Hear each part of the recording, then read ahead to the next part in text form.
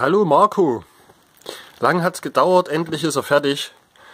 Leider konnte ich dir die Original-Abschaltplatine, wie ich dir sie in dem Video gezeigt habe, ähm, also von dem Video, wo du es gekauft hast, nicht einbauen. Die Chinesen haben mir die Ladeabschaltung nicht nochmal geschickt, nachdem ich zwei Ladeabschaltungen reklamiert habe. Deshalb ist jetzt die alte Ladeabschaltung reingekommen. Ich denke, dem Design tut es nicht so viel an Abbruch. Und mal gucken, ob die jetzt durchhält. Also, einschalten. Und dann ist das die Normaleinstellung. Also hier ist Off. Und der auch in der Mitte, so soll es losgehen. Und wenn man jetzt nach oben schaltet, hat man erstmal die halben Stufen drin.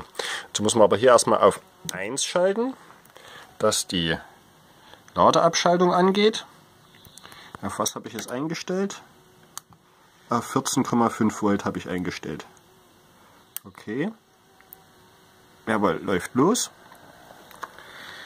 Und dann wollen wir mal gucken, ob er aushält. Sieht gut aus. 2,9 Ampere haut er schon mal rein. So, hier oben sind die, die halben Einstellungen sozusagen. Mal gucken, was passiert, wenn ich den Knopf jetzt hier rüber drücke. Ja, ändert sich. Ja, das Vorwiderstand. Ist das schon die... Ach, das ist mit Vor-LED-Modus. Alles klar.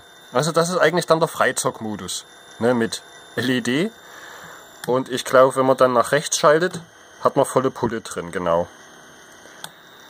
Okay, so, das war der halbe Modus oben. Und wenn du 16 äh, Volt Lithium-Akkus hast oder sowas, dann kannst du auch mal hier runterschalten auf volle Pulle Modus. Oder ist das jetzt der halbe Modus? Ach nee, okay, alles klar. Ja, habe ich mein eigenes Ladegerät wieder gelernt. Also unten ist der halbe Modus. Genau, unten ist der halbe Modus. Da kannst du ähm, kleine Moped-Batterien so bis 10 Ampere-Stunden oder 20 Ampere-Stunden laden. Dann hier mit entweder Vorwiderstand äh, LED-Vorwiderstand. Hier drin geht dann so eine LED an. Oder ähm, reiner Festwiderstand.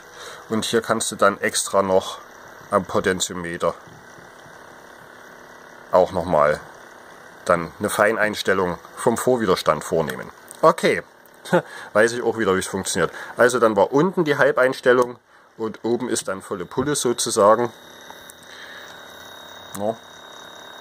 Und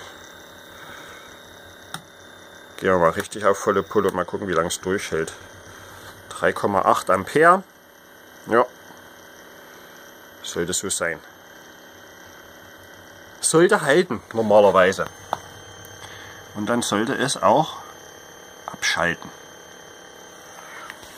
Okay, Marco. Dann wünsche ich euch viel Erfolg. Auf Feedback bin ich gespannt. Wenn irgendwas damit sein sollte, sag mir sofort Bescheid. Ich will ja auch, dass das Ding weiter funktioniert hier. In diesem Sinne, mach's gut und bis bald.